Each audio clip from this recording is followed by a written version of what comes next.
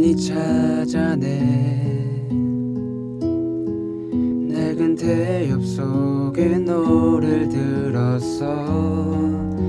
서투른 피아노 풋풋한 목소리. 오래된 테이프 속에 그때의 내가 참 부러워서 울다가 웃다가 바보처럼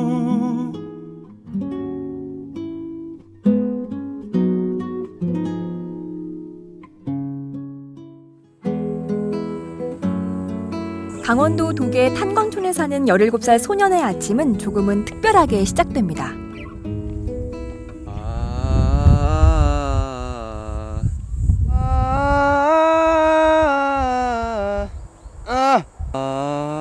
아침 몸풀기가 아니라 목풀기, 바로 발성 연습인데요. 노래가 세상의 전부가 된 탄광촌 소년 찬혜를 소개합니다. 고등학교 1학년인 찬혜의 시험날.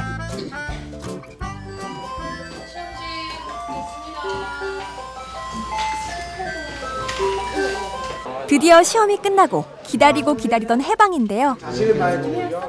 찬혜가 가장 먼저 향하는 곳은 학교 뮤지컬반 내가 아버지라고 연습실입니다. 생각하고 지금 대사를 연습해야 되고 노래를 불러줘야겠지. 너를 본다 매일 매일 서로 서로 아들아 넌 그리 큰 역할은 아니지만 그 누구보다 열심히 하는 찬혜. 가사의 뜻을 생각하며 감정을 한껏 잡아보는데요. 눈빛만큼은 프로 못지 않습니다.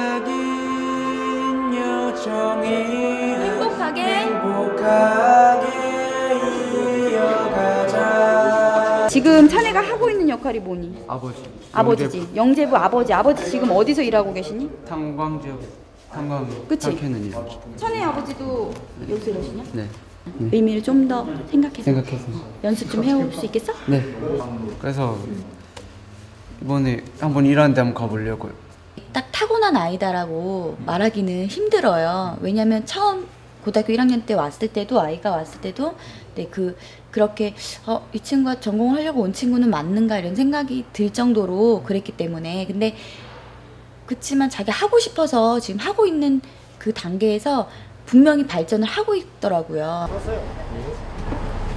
탄광촌에서 일하는 아빠 역을 맡은 찬혜. 뮤지컬 연기에 도움을 받고자 아빠가 일하는 탄광에 처음으로 가는 길입니다. 때와 장소를 가리지 않고 노래 연습은 계속되는데요. 5년 전부터 탄광에 레일을 설치하는 일을 해온 아빠. 이렇게 가족의 생계를 책임지고 있습니다. 땅속으로 들어간 아빠를 기다리면서도 뮤지컬 곡 연습이 한창인데요.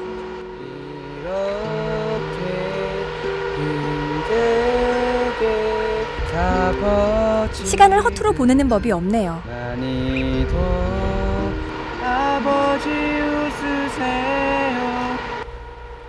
아빠 드디어 고된 일을 마치고 나온 아빠를 만났습니다. 올라오는 거 얼마 동안 가야 돼? 힘들겠네 저기 위험 위험도 하겠다 여기다가 이제 판을 싣고 처음으로 탄광에 온 찬혜를 위해 이것저것 설명해주고 싶은 아빠. 아빠의 힘든 일터를 보니 궁금한 게 많아진 찬혜인데요. 석탄가루로 뒤범벅된 아빠를 보면서 찬혜의 가슴 한켠에 뭔가가 크게 자리 잡습니다.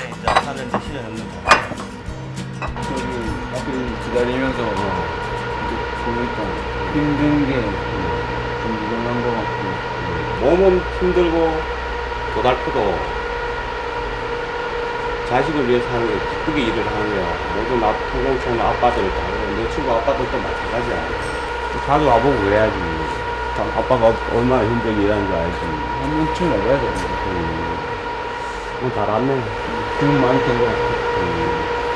네가 도움이 많이 됐으면 다행이다.